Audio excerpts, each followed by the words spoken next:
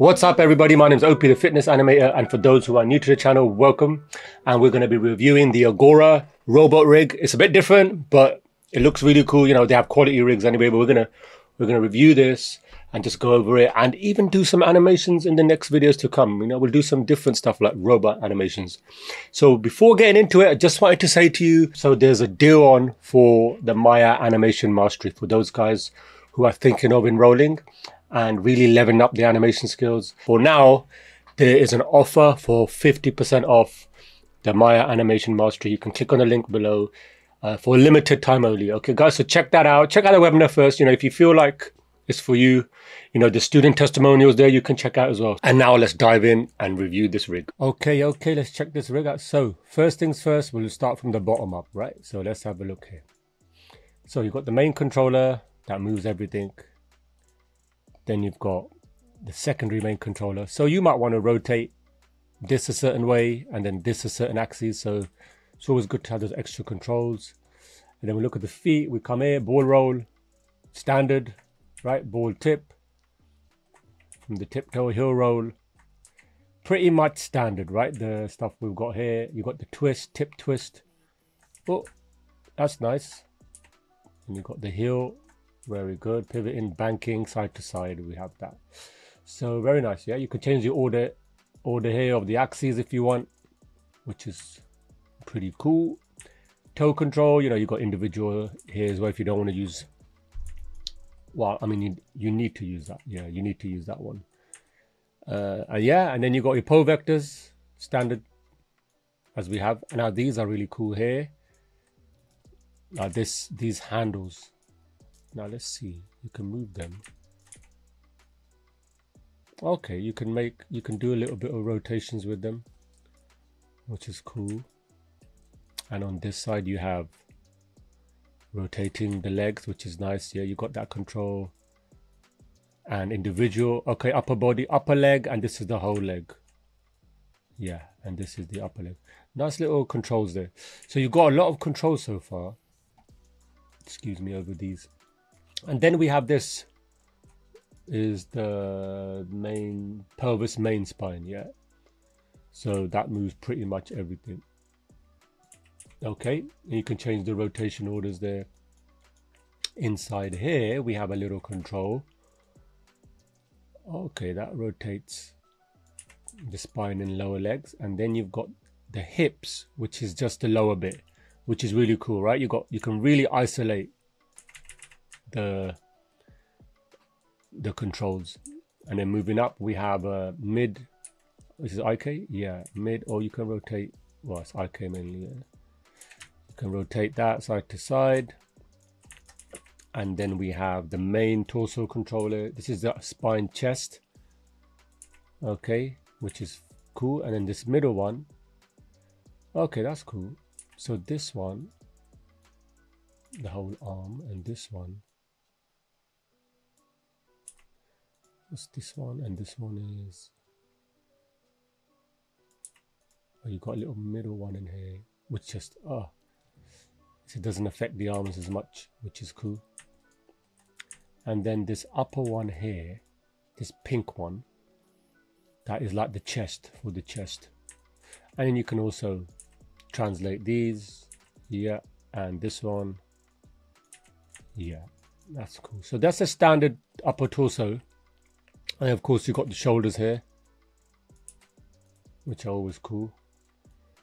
And then these little blocks here, you see these? These are little like for adding little secondary motion, you know, which is really cool. You can just, you know, add a little overlap on the chest as well. I believe you can translate them as well, yeah.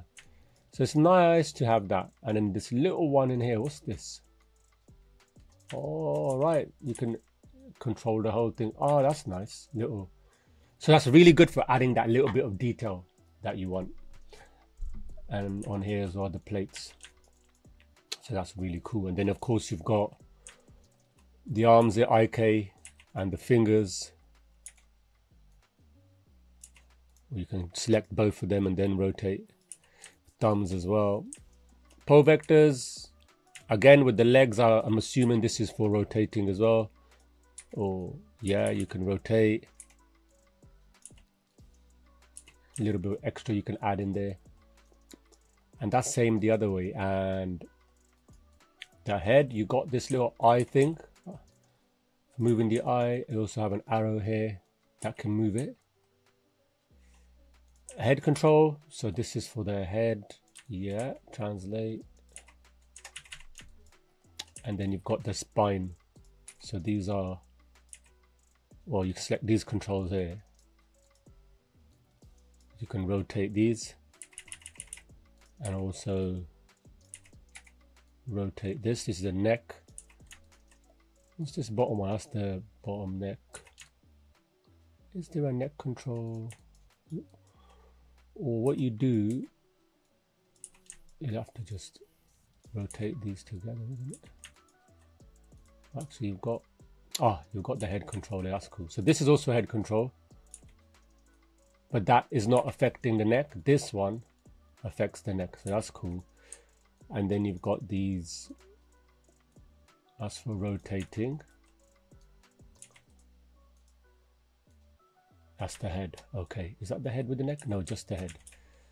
All right so that's the main control for the head and then you got just the the head here.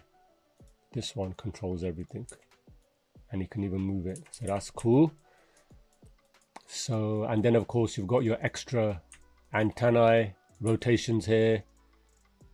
But then you have this bottom one as well that you don't want to forget about which is nice to have it coming out here. So it's really easy to access all the controls right? And from behind as well as in the front you have the same back plates. And then you've got a control in here that basically shoulder blade scapula. Well not scapula but the this is the shoulder scapula area here you know and then you've got this it's really cool so basically these you could use these for like it come everything comes out all the parts come out and then goes back in so that's pretty cool that's really good and behind here is more or less the same stuff. So it's very effective, but again, you know, very simple. And that's what you want. You don't want to rig that's overwhelming either, you know. Uh, but I'm I'm pretty sure that you can add. So if we come here, you can put on. So this is the main control here.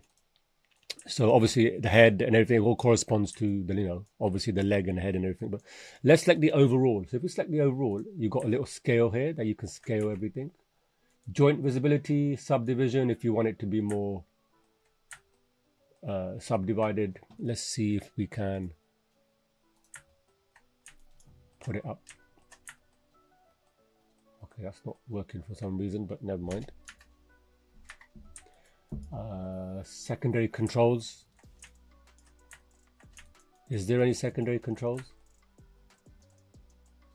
There, they are at the bottom, right?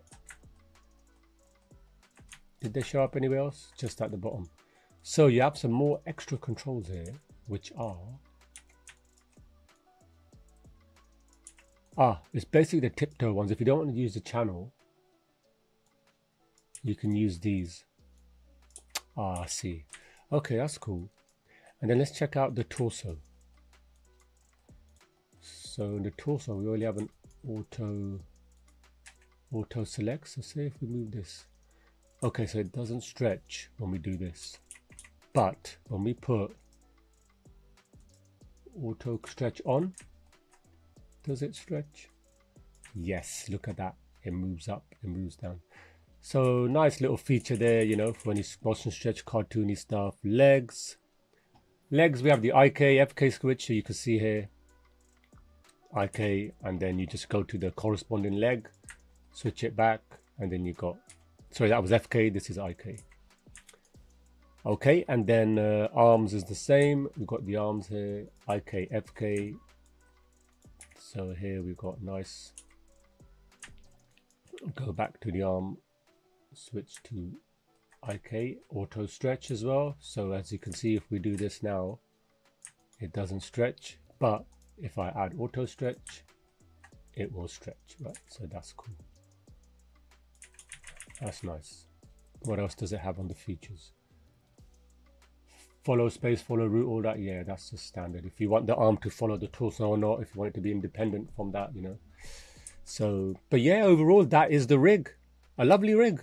I like it. It's simple. We'll do a robot kind of a animation with this, something different, because we always do the organic ones, And When I talked about how things move organically, they move in arcs or robots, they move in uh, depending. I mean, you could animate it organically too. You know, the actual film by Ice Age, right? The robots one that was all organically done.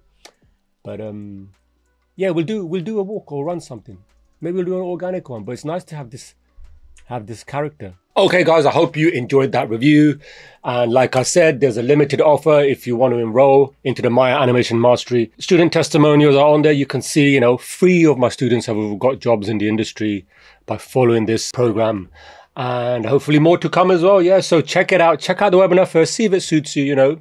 I've had all good reviews from students. You know, they're all enjoying the course at the moment. There's a private Facebook group as well. And then there's an inner circle group when you join the course, you get into a more exclusive group as well where we give more detailed feedback. So check that out. Click on the link in the description. And in the meantime, stay healthy, go for a walk, get off the screen, and look after your health as well. Okay, guys, until next time, happy animating. See you later.